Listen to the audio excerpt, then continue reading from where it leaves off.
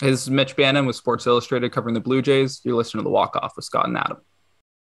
So excited to be joined by today's guest, Blue Jays reporter for Sports Illustrated, Mitch Bannon. Welcome to The Walk Off, man. Thanks so much for taking the time. Adam Scott, thanks for having me, guys. It's it's good to wake up to a fun Blue Jays day for sure. right? Lots of Blue Jays stuff to talk about. I mean, one one piece in particular anyways. Uh, before we get into that i do want to just start with saying that i do actually really enjoy your writing man. I like how connected you are with the minor league system. And most of all uh, you are a great follow on twitter. Like the stats and analytics that you kind of highlight is uh, not only informative it's interesting. Great job buddy. I liked the uh, the breakdown of that very thorough sticky substance uh, with Alek Manoah yesterday or the day before. That was always yeah. Fun. I wasn't sure if I was going to tweet that out. I'm like, oh, is this going to get someone in trouble? And it's like, no, this is this is too hilarious to it not tweet out. Yeah. Quick high five. I'm clearly very very worried about that right now in Major League Baseball. Yeah. Okay, let's get into it because I know this is what everyone on our YouTube chat wants to hear about. this is what all Blue Jays fans. It's the big news. Our number one prospect Gabriel Moreno last night got the call up to the bigs, right? Number four prospect in all of baseball. Without a doubt, Gabriel Moreno deserves to be in the big leagues. But I feel like the timing of this call up is interesting, right? Like, does this mean that Danny Jansen is injured maybe more long term? Uh, is this trade interest in Alex- Alejandro Kirk? Is this just giving Moreno a little bit more development time, and maybe he'll just get sent back down when Danny's back up. What do you think, Mitch? Yeah, I think it's all of those are kind of realistic possibilities. Uh, I was under the impression that Danny kind of had the finger break, the fracture, and they were going to know with something like that, especially it's such a tiny bone, you kind of learn a lot more after the swelling goes down. You kind of do other scans, and that usually takes about a week. So unless that swelling came down quickly and they got kind of an update on Danny, I don't think this is like a we've now found out he's going to be out for a really long time or, or maybe out more than they initially expected. I think this is maybe they called him up because this is kind of what they were waiting for. They, they have two really good catchers. They have Zach Collins kind of as the depth guy. They always knew something was going to have to happen uh, to get Moreno up and something kind of finally happened. So if you're not going to give him the shot now, you're just going to wait for another guy to get hurt or something else to happen in a month. So I think they kind of figured he's ready. Why not use this opportunity? When it comes to Moreno, what eh, his bat is major league ready. Is his defense major league ready? I think the arm certainly is. Uh, I think the just his pure athleticism is anybody you talk to. That's like the first word they use to describe him. He's just he's not the most imposing figure ever. He's kind of a small guy, but he's just so explosive in that shows at the box that also shows behind the plate, especially with kind of his receiving is, is getting up there, but the arm is you, you see the Bison's supposed to highlight every other night of him just gunning a guy out at second base, mm. and hmm. it's not even close. And and these are guys who they're not like speed isn't different between the major leagues and the minors. These are still really fast guys who are going to be able to steal bases. So it's not really going to get too much harder for him. Maybe guys in the big leagues will have a bit better jump, but I think that's certainly going to play. It's just getting him used to catching a guy who's 12 years older than him, getting him ready to, hey, let's say he's pitching Kevin Gausman. he puts down the fastball, Gosman shakes Moreno really wants a fastball, you need the confidence to, to put that signing down again. Like you, you can't kind of be a pushover as a big league catcher. So it's getting him maybe the mental side, the leadership side, prepared to do that. And you can't really do that in the minors. It's not the same catching Casey Lawrence versus catching a big league veteran. Even if the age is about the same, you got to kind of learn that in the big leagues. So there's only one spot he can learn that. Well, big league experience is so important at the catching position to begin with, right? I mean, we watched Alejandro Kirk just go through this, and although he was never overpowered offensively at any point, I mean, despite he did have obviously all players have ups and downs, but we did watch him really grow into the defensive catcher and the framing stud that we're seeing out of him in 2022. But this didn't happen overnight. Like, what can we expect out of Gabriel Moreno realistically? I think it's it's going to be a challenge for sure. He's a young guy. There's going to be cross ups. There's going to be frame jobs that he just doesn't have. Uh, I, I got down to Buffalo once to see him. We didn't really get to see him at all in spring training. He looked fine to me. Uh, I'm not a catcher. One, my buddy and colleague Ethan Diamandas did come up as a catcher, so I was kind of asking him, "Hey, how does he look to you?" and, and kind of picking yeah. his brain on that. He seemed to think he was fine. I think it's like Zach Collins is not a great big league framer. So if we're looking at how he updates or upgrades, sorry, on the roster right now, I think he'll probably be better than Collins. Collins is there for his bat, the big lefty power. He's got a decent arm, but uh, yeah, Kirk is really good at the bottom of the zone. I don't think he's going to be able to immediately come in and kind of match that. Uh, I think that'll be definitely the thing to watch because there's no framing stats in the minor leagues. There's internal numbers that this team has. They clearly think he's good enough to be in the big leagues. So we kind of got to trust them until we get a look at him in the big leagues. I mean, you did bring it up. His arm is impressive. I mean, the fact that he's throwing out 50% of runners is like that's eye popping. That's an eye popping stat. Yeah. yeah, I think maybe like 10, 15 years ago, a team like Detroit would see, okay, young catcher making his debut. Let's run on this guy. Like, mm-hmm. let's see what he's got. But now that the minor leagues are so rigorously covered and everyone kind of knows this, I don't think they're going to be testing him in this first weekend. I think they're going to know the scouting report on Gabby Moreno is he's probably going to throw us out. So you, if you're stealing, you better be pretty confident. I don't think it's going to be like the traditional test the young guy out. Hmm. Adam, do we have anything in the YouTube comments to add on to this right now? Um, what happens if Moreno tears it up, and what do we do when Jansen comes back? Uh, we need to make a trade from our wealth of riches and add to our position of needs. That comes in from Jay. Or do we? I I don't think they do. I think if Moreno coming in immediately tearing up is the best case scenario. That's exactly what you want. And this team has showed a willingness to carry three catchers. They've done it with Collins. Uh, they did it briefly with McGuire last year. They've done it with Tyler Heineman, was the third catcher on this team for a little bit. So if you're willing to carry those guys as a third catcher, why not Gabby Moreno? The interesting part becomes getting everyone playing time, and that would become a logistical nightmare for Charlie Montoyo for sure. Uh, I think you then got to scrap some DH days for George Springer. You got to scrap those every so often DH days for Vlad. That's that would just become a necessity. So then the balance of trying to do that is how much do we need Springer to be DHing once every four games, and how much do we need that kind of once a week or once every two weeks rest for Vlad versus Gabby Moreno's helping us win with his bat. Uh, I think if he comes in and tears it up, like Jansen's, he's going to have three, four weeks at minimum to, to really run with this job, even if Jansen's a speedy recovery. So we're going to get a decent sample. It's not going to be like he's hitting 500 through five games. And then what do we do? We're going to get an idea of what Gavin Moreno is and, and how ready his bat is for the big leagues. And if it proves it's ready, I think you run with it. I don't think you're trading Danny Jansen or Alejandro Kirk midseason. I think you're trying to win a championship and move in one of those guys hurts that. Uh, I think yeah. you just try to figure out how to have all these guys on the on the roster this year and then make a decision in the offseason. Uh, I think the natural point is then you decide which one of Jansen or Kirk stays. And that's kind of a, a November, December issue, not a July issue for the Blue Jays. So, friend of the show, Sportsnet's Ben Nicholson Smith, just tweeted out something really interesting about homegrown players and how Toronto has continued to bring them up mid-season throughout the last five years. So you go back to 2018, Lourdes Gurriel Jr. and Danny Jansen made their debuts. 2019, of course, Vladdy, Bo, Cavan, Jordan Romano. 2020 with Santiago Espinal and Alejandro Kirk. 2021, of course, we all remember Manoah coming on the scene. And then Gabriel Moreno this year. That is a pretty impressive display of the pipeline coming up year after year. Not every yeah. team pulls that off. We've seen the Orioles and Royals and all those teams been trying to do it for the same amount of time, and they're just now kind of getting that first wave of guys, mm-hmm. those first top prospects. I think this is kind of how Mark Shapiro and Ross Atkins drew this up. They came in and had kind of a, a couple of aces in their pocket with Vlad Guerrero Jr. already being in the organization. That certainly helps. But then I think they kind of knew if we can build up this young position player core, push them up the minors, those guys are usually much safer than the pitchers.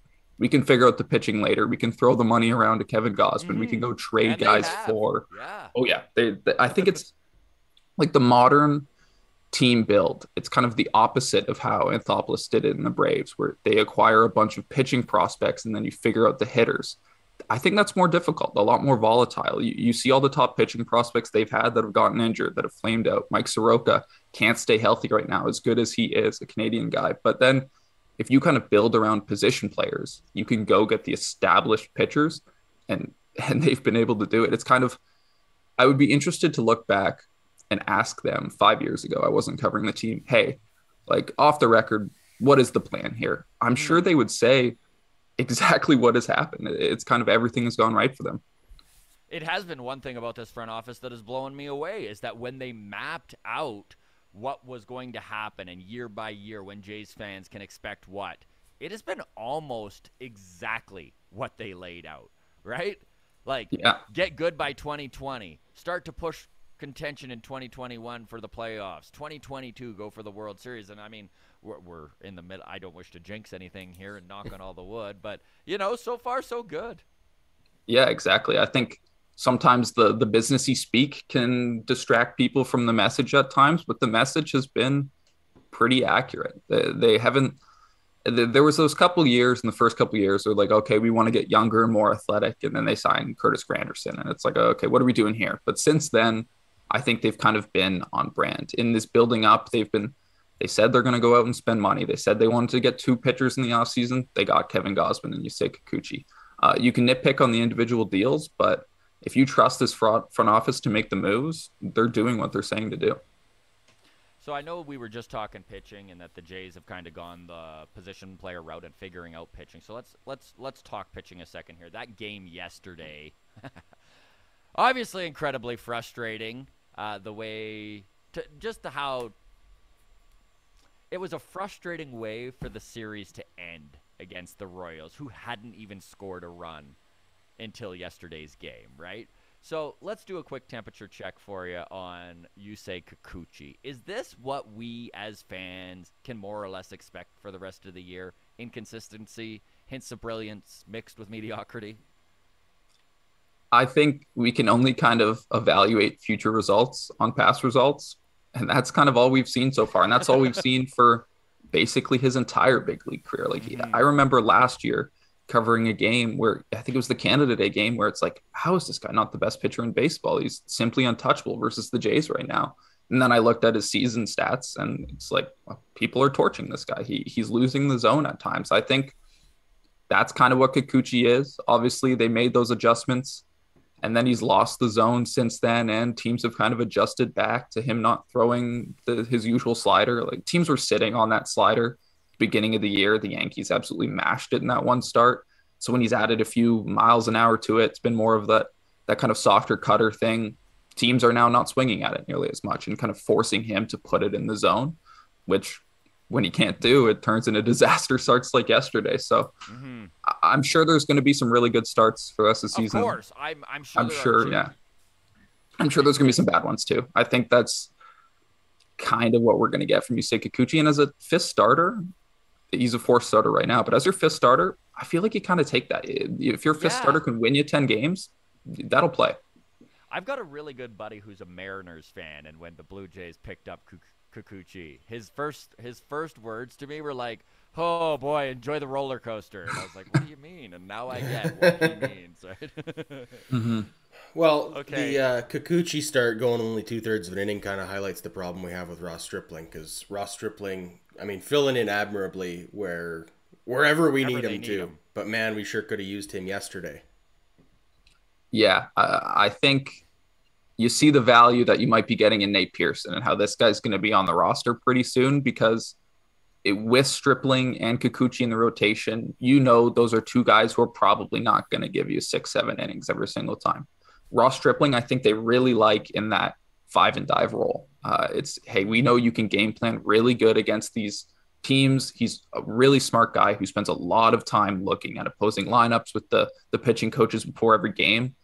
But then once they see you twice, they kind of get what you're doing to them. So you can't be running Ross Stripling out there for a third time through the order. You need to eat innings. And, and obviously, Stripling was the guy doing that for them.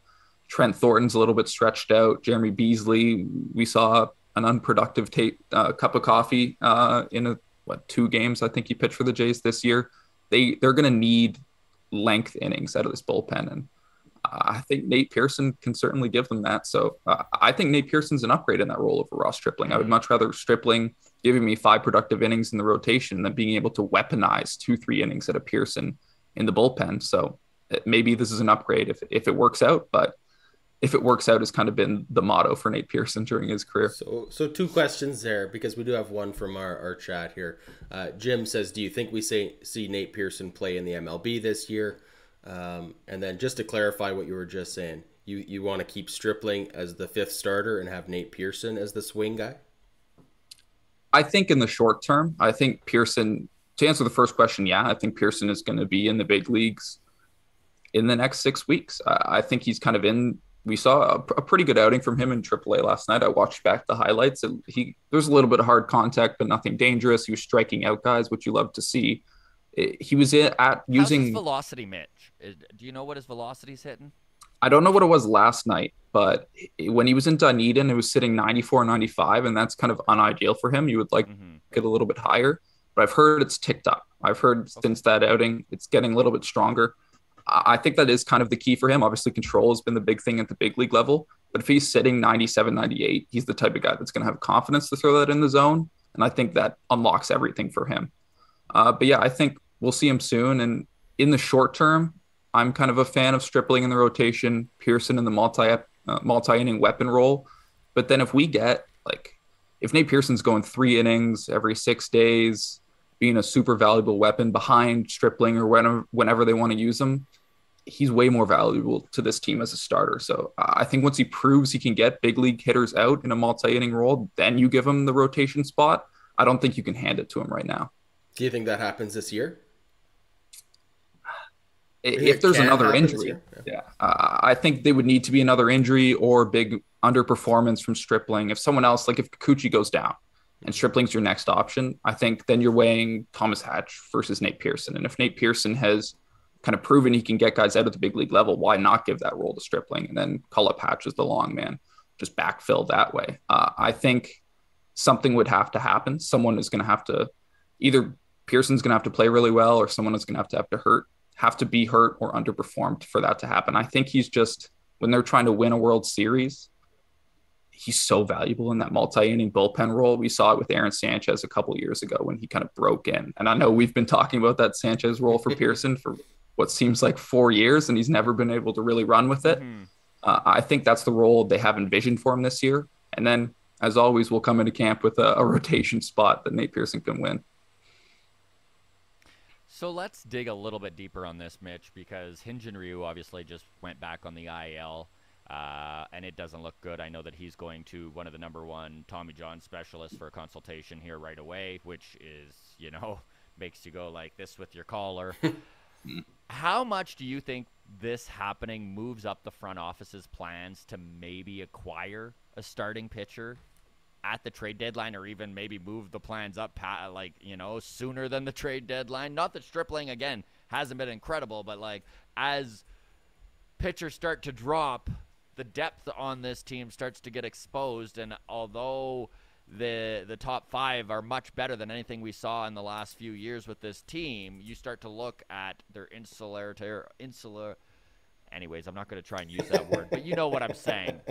Yeah. The top end depth do you think that they go outside of the organization maybe sooner than we thought? I don't think they're going to pull the trigger anytime soon. I think that definitely makes a starting pitcher a priority at the deadline. Uh, I think if something else happens, then that will move up the deadline. But I think they're kind of comfortable where they're at right now. They had Ross Stripling on this roster to be a fifth starter when someone got hurt, and now they're in that position. Uh, I think you would have to get someone who's a real significant upgrade over even Kikuchi and Stripling to make it kind of worth it at this point. Hey, Frankie think, Montas, if you will. yeah, I, I like that's the guy. But then you're probably bidding against the Yankees, the Red Sox. You're bidding against some teams who have a bigger need and are equally as motivated. So they're probably going to end up paying more. Uh, I don't know if the Jays are going to be motivated enough to go trade for Frankie Montas to be their fourth starter, and then what you're yeah. giving up top prospects for a guy who might not even pitch in a three game playoff series for you. I think you kind of have to have that calculus. I look at the, I think it was the Dodgers last year, went out at the deadline and got Tyler Anderson and Danny Duffy. They have a really good rotation. It wasn't that deep last year because of injuries. So they wanted to backfill it with guys like, okay, if we have another injury, one of these guys can come in and help us out. I think that's the, or maybe it's the, the Mariners got Anderson. It was a move like that at the deadline, where it was a guy who mm-hmm. could be a third or fourth starter, but he's also the type of guy who throws hard enough he can be a bullpen weapon. I think they're going to go out closer to the deadline and backfill the rotation that way, as opposed to getting a guy who would push guys down in the rotation right. pecking order. So the Blue Jays play 37 games in the next 38 days leading up to the All Star game. We watched them play 30 and 31 to start the season. Obviously, the season starting two weeks late has put every team in a bit of a schedule crunch here. Do you think this has impacted baseball negatively in 2022? I mean, injuries are up a little bit, and we are watching some uh, pretty regular baseball, right? I mean, these guys, 37 games in 38 days is pretty crazy. Yeah, I think that's an, I haven't thought about it quite like that way, in that the schedule crunch does something like that. I think it'll be interesting. They, they got a scheduled doubleheader or on the card later. It'll be interesting when they're playing what 40 or like 21 and 20 games later in the season too. That's going to be tough. I think it's kind of this the trend we've seen over the last couple years where these injuries, especially these elbow injuries to pitchers, are becoming more and more common. And it's not even just the guys throwing 100 miles an hour. You see it, see it to someone like Ryu throwing 90 miles an hour. It's just teams are so conscious of these injuries now, and these players are so val- valuable to them. They don't want to push them. And so once you start having forearm tightness, alarm bells go off. And maybe that's something you pitched through uh, 10, 15, 35 years ago, but but not today. I, I think it's yeah. just they understand. And maybe it is because of the delayed season and the shortened spring training. I'm sure pitchers weren't a fan of that. They weren't a fan of that in 2020 when they got a really short notice to, to be pitching. And then it kind of screwed up everyone's uh, plans. And then there was the last year, we also saw a bunch of injuries at the beginning of the season. It's just been a weird few years in baseball, and that could certainly play into it. But I do think it's just kind of the modern baseball environment. Yeah, that's fair. Uh, I know we talked pretty heavily catching, but I did want to just ask you this one last thing before we completely move on from this because Kirk is having himself, you know, like a real breakout season here. He's going to be in all star contention, if not on the team. He's really coming into his own here. So let's get wild, Mitch. You're the manager. Jays are in game seven of the ALCS. Is Alejandro Kirk your starting catcher? Alek Manoah's pitching, he certainly is. Uh, I think it's they love playing those matchups with as much as Charlie Montoyo doesn't says, "Oh no, I don't have my catchers tied to any pitchers." He he makes that very clear, but we've only seen Alejandro Kirk catch Alek Manoah, so clearly there's an attachment there, and it's going pretty well. So why would you want to mess with that? if if he keeps this up for the rest of the season, you got to be he's got to be in the lineup four of every five days, five of every six. There's there's no reason he can be coming out of the lineup. If he's not catching for me in game seven, because let's say it's Kikuchi pitching and you want Danny Jansen in there, or or Moreno and Gausman have some great tandem that they ride for the rest of the season, and he's your catcher, he better be my designated hitter. That's for sure. Feel the same way. Adam, do we have any YouTube comments worth bringing up currently? Oh, yeah, they're all over the place though. Um, it's fine. They're having their own chat. We're having our own chat. Um, so let's just uh, let's roll with this one then. Uh, from New Brunswick, Canada, guy says, I definitely think a catcher could be part of a trade package for maybe like a Frankie Montas from Oakland, who has two years left, or maybe Lopez from the Marlins, who has three years of control. Um, just general with uh, Ryu looking like he's going to have an extended stay on the IL how desperately does this team need to find a replacement, or is that going to just come from within? Yeah, I think they're kind of comfortable where they are right now. But yeah, once again, with kind of the trading the catchers, I personally, and this isn't anything I've reported or anything from talking to people, but I just don't love the idea of trading a catcher in season right now. I know there was talks with the Marlins in the offseason. I think those were maybe more surrounding Teoscar Hernandez, and then they were going to maybe get a pitcher back. I don't see them doing that in season either. It's just this is a team that's got to be adding to the major league roster, so pulling off of it doesn't seem like a great idea. I, I think if you're going after a Lopez or a Montas. Maybe it's an Orelvis Martinez you dangle, someone like that, Jordan Groshans, who are, who are highly regarded prospects in the industry. I think the A's in particular are not going to be a big fan of guys on the major league roster. They're certainly not going to be wanting to trade for Danny Jansen. He's just not going to fit their window. I'm sure they'd love to have Alejandro Kirk because with the way he's hitting right now, who wouldn't want to? But mm-hmm. yeah, I, I, think it's going to be a prospect for pitching swap if it happens, and I see it as maybe more of a an SP4 type. Matt Chapman is hitting 361 over the last 10 games, and I know Blue Jays fans were waiting for this offensive output to start happening. I mean, defensively, the guy has just been a joy to watch play third base. He seems to be good to save at least a run a game, it feels like. I know it's really tough, Mitch, to kind of quantify what I'm about to ask you, but in your opinion, how much better is this team on the left side of the infield from last year? And what are some of the unseen benefits of this improvement? Yeah, I, I think it's certainly better, but it, it's so hard to upgrade over Santiago Espinal. Like he was so good last year. Mm-hmm. The fact that they've gotten better defensively is very impressive. I, I think one thing that's we were talking about it early in the year. It was kind of a big story that's now kind of gotten forgotten. Is how much this team has shifted, and I think that's maybe it's analytically driven, but I also think it's being aware of kind of the guys that they have. If, if you shift that infield over, you can give Matt Chapman the entire left side of the infield and be like, okay, just handle this. We'll put three on the other side, and he can do it. The range is phenomenal, right? Like even everything's phenomenal. Yeah, yeah, yeah. I think he. That's maybe not something you were willing to do with Espinal, but now that you have a a guy like that, like a, a, free safety manning the entire left side of the infield. You you can do more aggressive shifts like that. They're not going to be able to do it next year, from the sounds of it. So they're going to have to throw that one out the window. But I, I think it has been the little things like that, and then also Chapman from a leadership kind of thing. We we see him out working every single day. He's taking ground balls every single day. Something we don't see is the leadership, but everyone you talk to says he's kind of come in with a fresh set of eyes He's not kind of worried about telling guys, hey, we got to be better at this. Hey, we got to do this. It's kind of good to have that kind of fresh perspective, I think, than having it in a respected leader guy like Chapman has been super valuable for the team. Out of curiosity, Mitch, just personally, what do you think about them banning the shift next year? Yeah, I, I kind of go back and forth. I like the shift because it's like, oh, this is so fun. Look what it, it tells you how teams view other hitters. And, and I think that's super interesting. Just understanding the scouting reports and it's so easy to visualize. But from a baseball perspective, yeah, I'm good with a couple more doubles. I'm good with a couple more singles. I think it'd be fun, more stolen bases.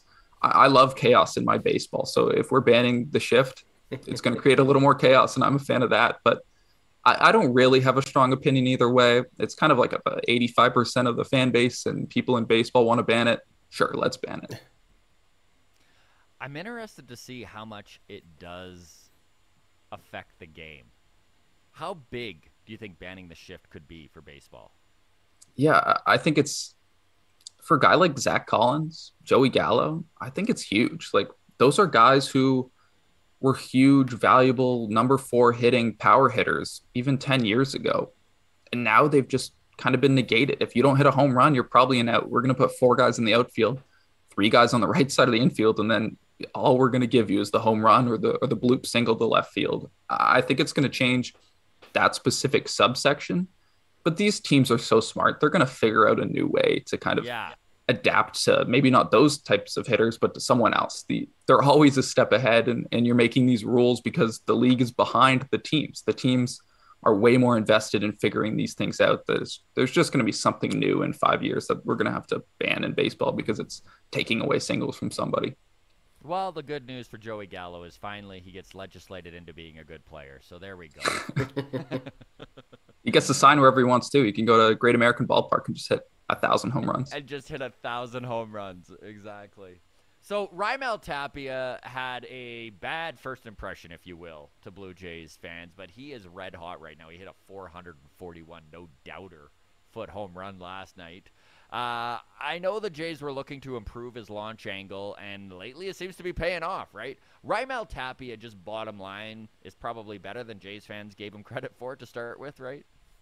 Yeah, I think so. I think you kind of mentioned that they've been really toying with his swing and toying with him a lot. So I think we kind of got to understand that those first that first month of struggles was because there was a lot going on behind the yeah. scenes with trying to change him, trying to eliminate those ground balls. Because even if he's a speedy guy, there's only so many ground balls to shortstop you can beat out. It's just a hard thing to do, and it's not something many people can successfully do in 2022 baseball.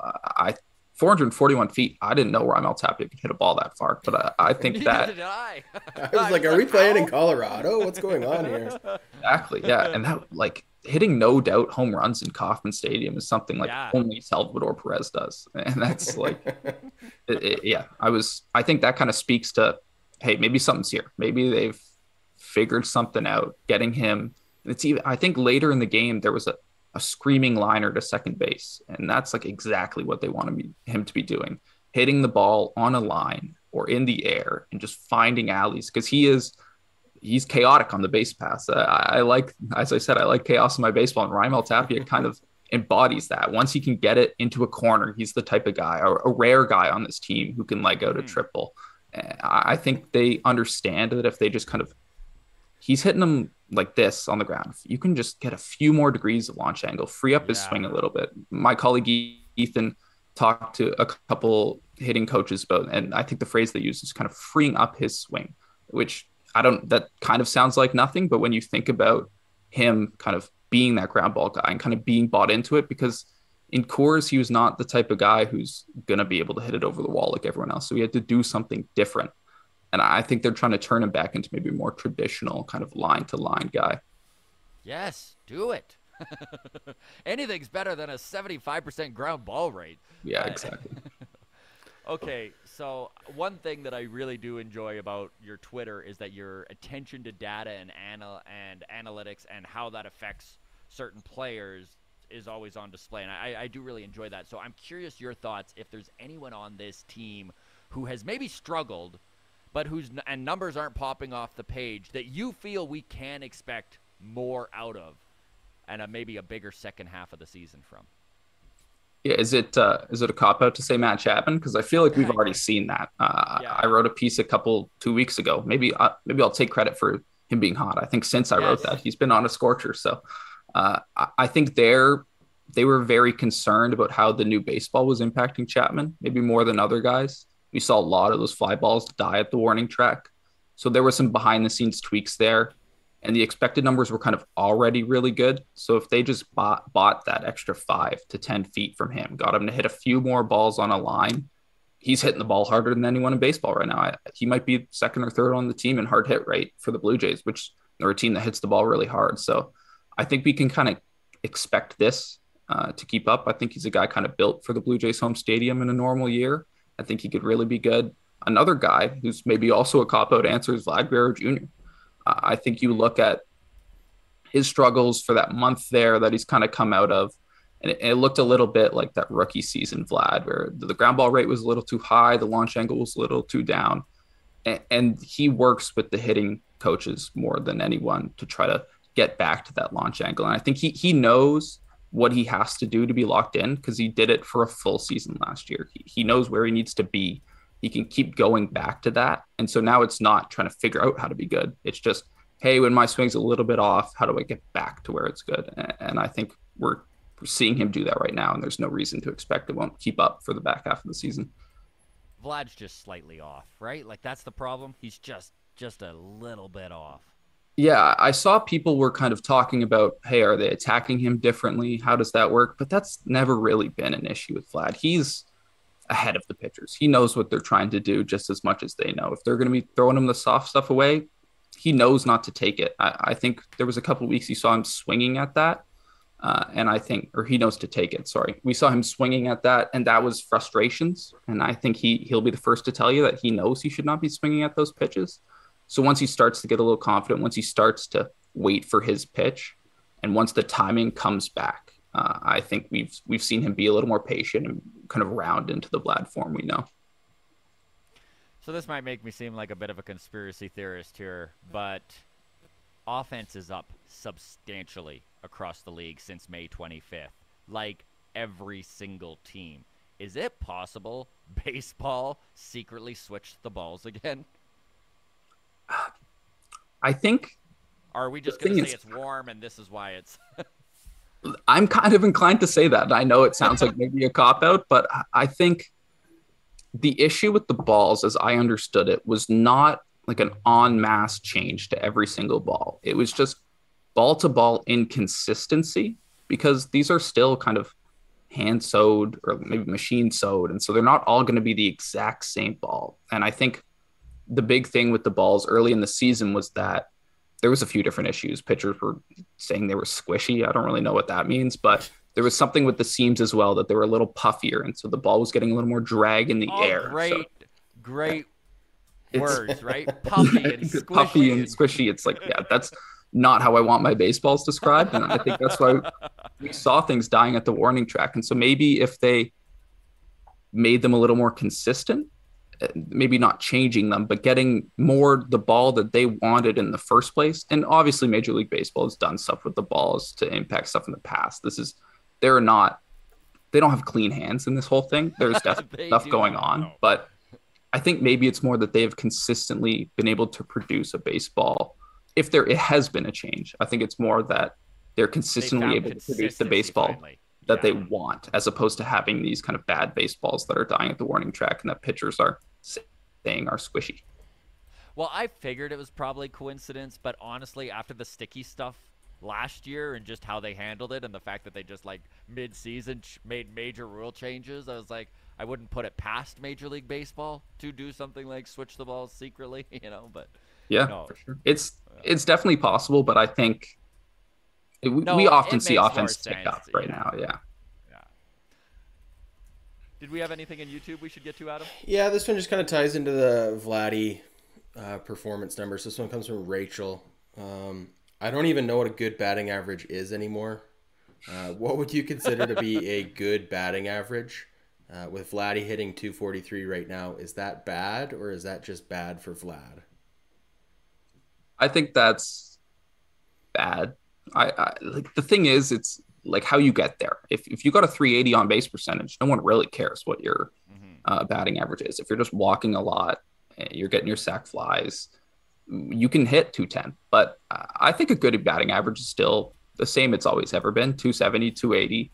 But it's those are more for guys like Santiago Espinal who are more bat to ball driven or not going to take a thousand walks. So I think it's there's kind of the subsections of players have changed where some guys they just aren't going to care about batting average at all. So there's not a batting average that is bad. They only care about that OBP and they care about kind of their overall production. Uh, but yeah, I think what a good batting average still is kind of the same. It's just some guys you can't evaluate with that anymore. Speaking of batting average and OBP, Cavan Biggio is hitting 170 with a 370 on base percentage, which is just the most insane. Biggio the peak Cavan Biggio slash line. Peak Cavan Biggio, yeah. yeah, I, I think it's interesting. Cavan can make hay against these kind of righty heavy bad teams for the next 10 days and earn mm-hmm. himself some more playing time. If, if these are guys who are going to miss with the zone, he's just proven he's not going to swing at that.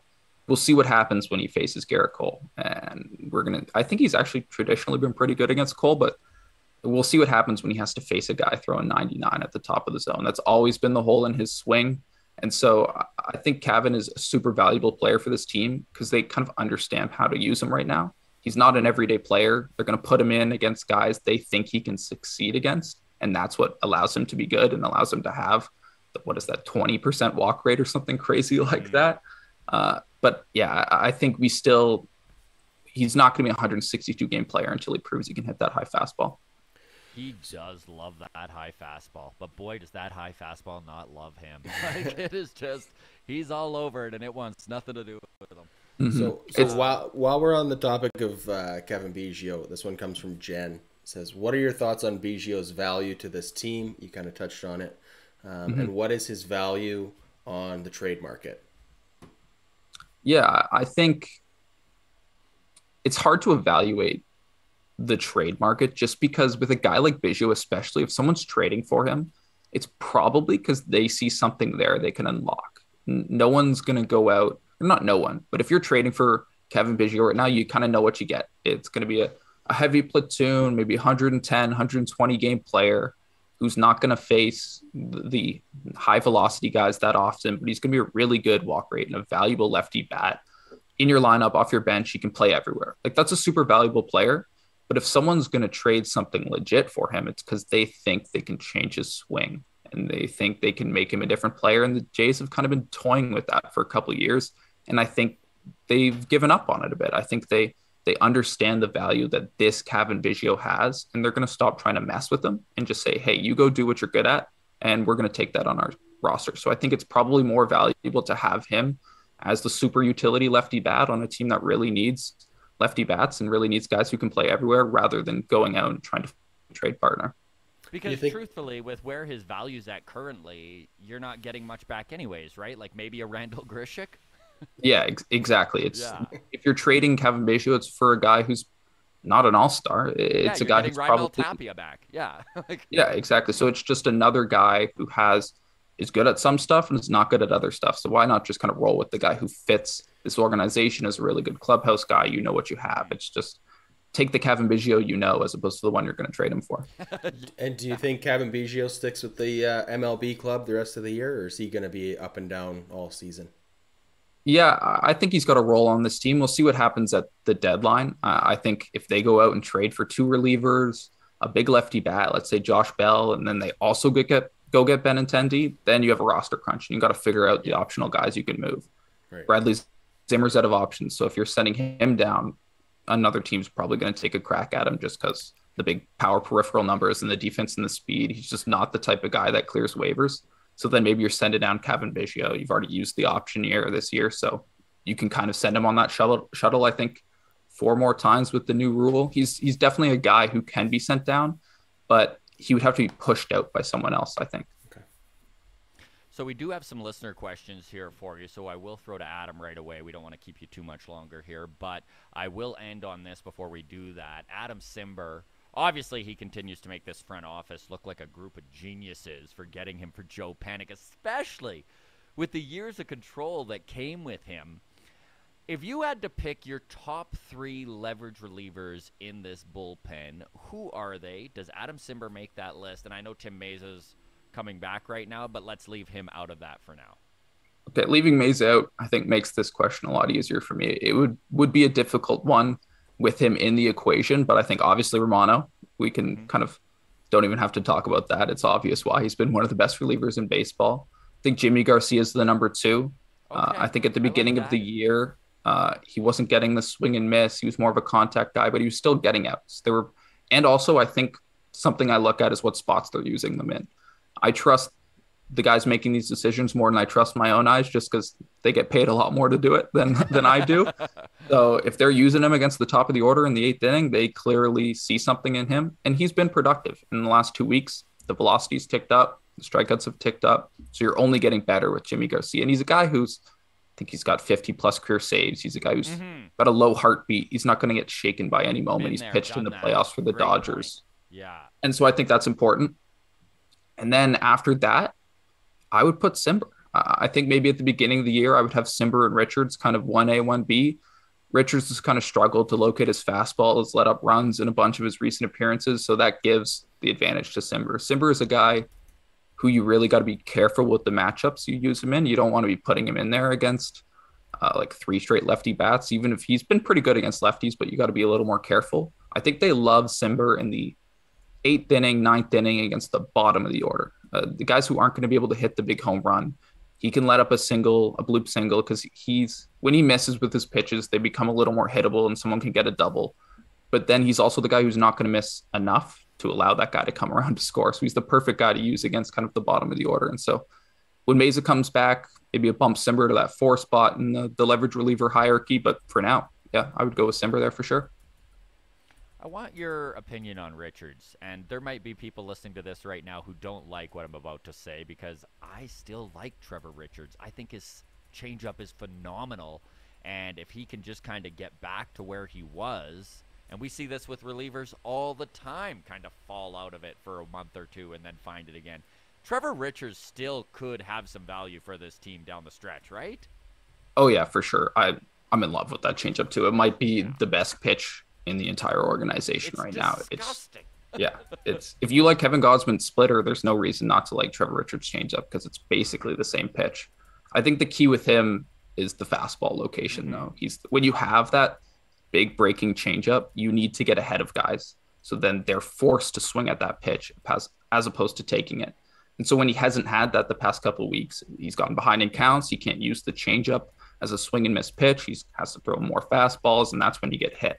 And so I think it's just he's a small refinement away, a couple good outings away from just getting that fastball back in the top of the zone, and then the changeup will play as we know it will. And Giancarlo Stanton hit that crazy home run against them last year, but people can't hit the changeup aside from Stanton. So if you can get into counts where you can use that, I think Richards is a super valuable, even leverage reliever for this team. Yeah.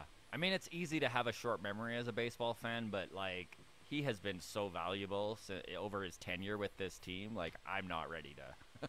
I know there's there's tweets out there being like package him up and get him out of here, and I'm like, no, not Richards. If you get Richards out of town, you're just going to be trying to find another Trent Richards, so or Trevor Richards. So, and if you want, Yeah. like, he's valuable too because they're using him more than more in this kind of multi-inning role. And we talked about the need for length in this bullpen, and if you can get 1.2 innings from Richards, if you can get two innings from Richards, and if he starts getting that back and can be effective in that multi-inning role, oh, it's yeah, what a weapon. Mitch, you've been so generous with your time. Thank you so much. We really appreciate it, man. And this has been a lot of fun. Uh, we'll throw to Adam here and just get a few listener questions in. I know we had a few from our Discord and stuff like that, so uh, we need to get to that. Otherwise, we'll get shit. So, Sounds good. All right. So first one comes in from uh, Mark. Realistic expectations. What kind of numbers does Moreno na- uh, Moreno need to put up in order to stay up? Ooh, that's a good question. Uh, I think the key for him is going to be the walks. I, I think the the game power hasn't really been there for Moreno. He's, I, think if he comes in and looks like a catching version of Santiago Espinal, where he, he can run into the occasional home run, but he's spraying the ball around. He's not swinging at too many bad pitches. That's kind of the ideal right now. The, the game power will come as he ages for sure, and he's got the doubles power right now, which is phenomenal. But I think if you the numbers he'll need to stay up is interesting because we don't know. It kind of depends on everybody else. If everyone else is playing bad, Moreno playing bad doesn't look as glaring. If everyone's playing great, he's probably got to hit 300. But I, I think a slash line around 280, 330 for the, the batting average and on base percentage is a good start. And then you kind of take the power numbers that come with that. I, I don't think they're too terribly concerned about how many home runs he's going to be hitting during this stint. Okay. Next one comes from Aaron. Says, Do you think we see Jordan Groshans in 2022? Yeah, I was actually talking about this with some people the other day. I think for sure. And I think it'll Wow. be in the role that we saw Kevin Smith in last year, where it's like, okay, he's had such a good minor league season. We got to reward him in some capacity. Someone goes down uh, in September or August, or something happens where you get that extra roster spot. I think he's going to be rewarded with that, especially if he keeps up what he's doing right now. He's been great in AAA, and they're kind of moving him around, getting him some positional versatility. I wouldn't be surprised if we see him get some corner outfield work soon. Uh, obviously, if they trade for like three hitters, that pushes him down the totem pole for sure. But uh, I think we got a really good shot of seeing him as kind of like the next man up infield late in the season. I think right now it might be more Vinny Capra, Otto Lopez. But when we get closer to August, September, and Groshans keeps doing this, I think he'll kind of become that guy. Awesome. Okay, next one comes in from Dougie. Says, I'm still holding out for J Ram. I know he signed a contract extension, but I think his new contract still makes him a very appealing trade target. Uh, could this still be an option in the next year and a half for a team, even if it's not the Blue Jays? I would love to say yes so much. I think that would just be such an unreal fit. He's so fun. What an amazing player. Like the best Oh. player in the league right now, it seems. yeah, yeah, yeah. He's got two doubles every single game. I I, hmm. I want to say yes so badly, but I just can't in good conscience. I think that guy wants to be in Cleveland. They got him on a really good contract that they're probably stoked with. And so Why? he's not going anywhere. Just has a great house with a great view or something like that. Two pools in the back. Loves the lake. Someone should have told him on Lake Ontario. It's just as nice. There's better lakes. Uh, we'll name a lake after Jose Ramirez if he comes to Toronto. I'm sure of that. Okay, uh, next one comes in from Uncle Jer. Says uh, Jays not signing Teoscar, I think, or they already would have. I bet they are targeting a lefty outfielder instead uh, in the off season. What are your thoughts on that? Teoscar's long term future with the Jays. Yeah, I think that is a big question for this offseason. Because if you let him get to that final year, there's not a whole lot of incentive except for throwing a big bag at him to not go explore free agency, especially yeah. if they're going to talk to Vlad and Bo, which they're certainly going to talk to Vlad and Bo this winter. Those guys are kind of priority one and two. And if you sign them both the 300, 400 million dollar contracts, someone's going to be the odd man out. Uh, I think Lourdes. Possible not to jump all over the place here. Yeah, I yeah. definitely possible. I think this this organization doesn't love talking huge extensions in season, so I don't think we're going to see anything in the next three four months. I but I think like the first call after the season last year, or after the yeah after the season last year was to Jose Berrios to get conversations started on that. I think the first call this season is going to be to Vlad and Bo, and then you're going to see where you're at. If they can't get a deal done, I think you got to ink somebody because you can't have all of these guys go to free agency and then you end up with no one. So I think Teo becomes a legit option. Right. But I also think someone's going to be the odd man out. Like, uh, no matter how much money Rogers has, you're probably not going to be able to extend Teo and Lourdes and Vlad and Bo, especially if they all keep hitting as they have early in their careers. And I think Teo's the type of guy who he knows he can go get a lot of money from another organization. So there's not a whole lot of motivation to take a huge pay cut to stay with this core. I know this uh, is spiteful. Do you know what my dream scenario is here? Is that the Jays actually do extend Vlad and Bo while Stanton is in free agency and and Yankees fans are just flailing in the wind, just panicking. I would love that so much. it's possible. Uh, just to follow up for me then on that, Vladdy and Bo, if it's only one, who should the priority be? Yeah, whew, tough spot. Uh, I certainly am happy I'm not the one who has to make this decision. I, I think it. I don't see a whole lot of possibilities where they just bring back one. Like unless one of them actively wants to leave, and I've gotten no indication that that's true. I yeah. think they both love it here. They understand that this is a wealthy organization who can give them both what they want. Then they could both stay here. I, I think long. If this is like a ten year deal, I'd probably rather sign Bo just because he's I think going to age a little more graceful. You can move him over to second base. There's not a whole lot of spots you can move Vlad. It's like if he's moving off first base, it becomes designated hitter, but he's also objectively the better hitter. So it makes it a tough call. Uh, I think at the price point, I probably, gun to my head, I would take Bo, but I think it's either a both or none situation. But I don't have any, I don't have any reporting on that for sure. I just think it's if you're signing one guy to a four hundred million dollar contract, you can sign two guys to a four hundred million dollar contract. I love it. Okay, uh, a couple more here, and then we'll let you go. Uh, so this one comes in from Tony. Says renovations coming to the outfield wall at Rogers this offseason. Uh, what changes do you want to see to the outfield wall in Toronto? So I mentioned a couple times I like chaos in my baseball, so I would love a not symmetrical, perfectly rounded wall. Thank you. I don't know if they're going to do that. I know so Mark Shapiro, a big reason he was brought in is because the work he did at that Cleveland stadium. And that is a very unique kind of outfield situation. We got a little mm. green monster action in left field, some jagged edges in center field. I don't know if they're going to go that far.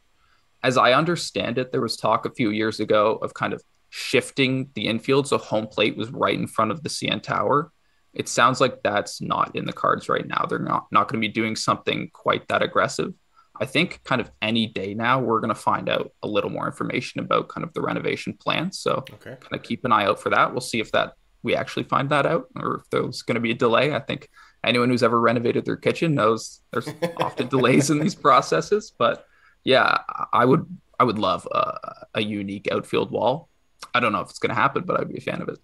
Something chaotic. Dishwasher in the outfield. Let's renovate this kitchen. Yeah, let's take the um, Houston the Houston mound and put it in center field and the get a, get a pole. Yeah, you bet. um, what, yeah, one of my biggest pet peeves with Rogers is symmetric wall, so boring, and also it's what ten feet tall the whole way around. It's like my biggest pet peeve in baseball. I don't know why you'd have walls so big that eliminate one of the most exciting plays in all of sports, the home run robbery. Like, hmm It If you're gonna have a guy climb up Pillar, and- it's still iconic. Yeah. yeah, like you make a, a massive leaping catch at the wall, and it's like well, he didn't take a home run away; he took away a double. Like, let's just make them six, seven foot walls with weird angles, and I'm happy.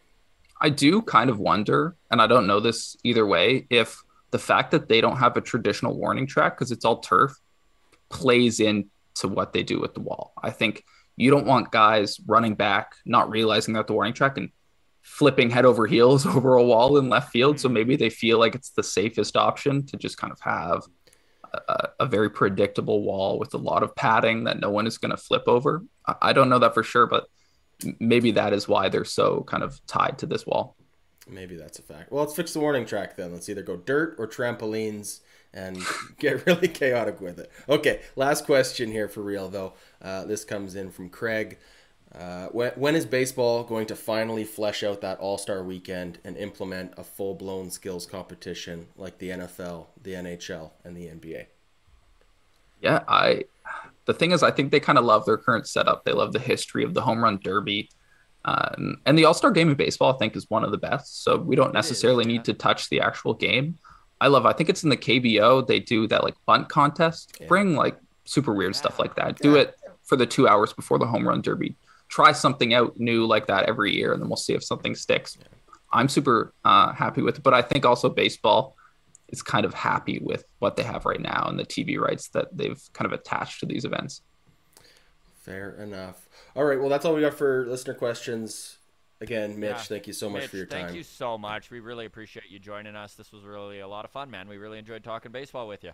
Yeah, I had a blast too. Anytime you want me to have on, let me know. Right it was on. a great time.